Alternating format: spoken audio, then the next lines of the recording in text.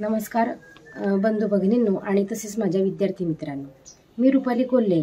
आज आपण इयत्ता दुसरी स्टँडर्ड सेकंड विषय इंग्रजीमधील युनिट नंबर फोर पॉईंट दोन कॅलेंडर हा घटक अभ्यासणार आहोत. मित्रांनो तुमचा वाढदिवस कधी असतो? कोणाचा जानेवारी महिन्यात कोणाचा फेब्रुवारी महिन्यात? प्रत्येकाचा वाढदिवस वेगवेगळ्या महिन्यात असतो. बरोबर की नाही?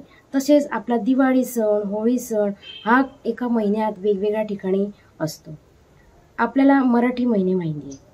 तसेच आपण या या घटकात जसे आपल्याला मराठी महिने माहिती आहे तसेच आपण इंग्रजी महिने आपण या घटकात अभ्यासणार आहोत.